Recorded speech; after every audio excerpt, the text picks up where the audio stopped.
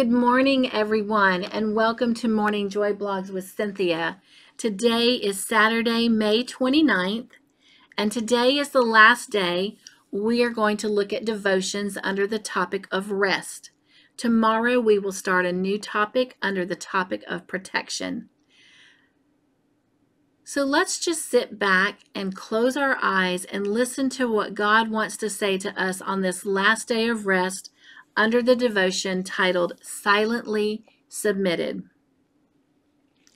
Find rest in me alone. Resting in me provides you with the hope you need to walk in faith. I want you to rest in my presence so that you can confidently have hope. Only I can provide all that you need, so there's no use in putting your hope in anything or anyone else. The hope I give you when you rest in me allows you to be filled with the peace you desperately need amid all the uncertainty in your life. Circumstances are always changing, but I never do.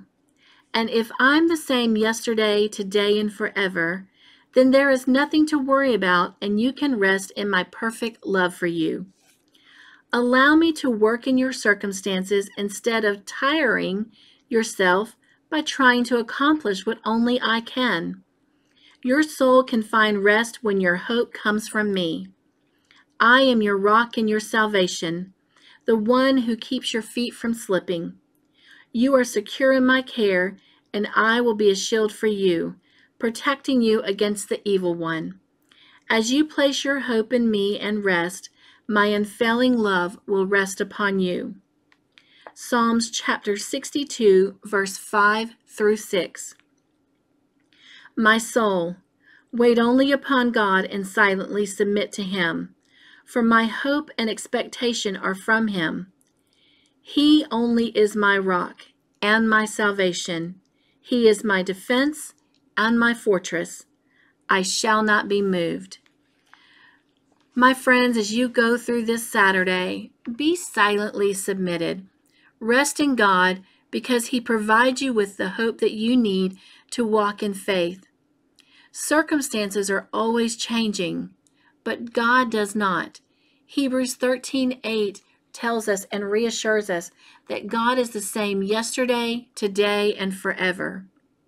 God is your rock and your salvation, so let Him be those for you. God is the one who keeps your feet from slipping. How reassuring is that? And above all else, God is your shield against the devil. So place your hope in Him and rest, because His unfailing love will rest upon you. Have a wonderful and beautiful Saturday, and I cannot wait to meet you back here in the morning on Sunday, bright and early, to begin looking at what He wants to share with us under the topic of protection. Hugs, everyone. Squeeze tight. Mm-mm. I'll see you in the morning. Bye.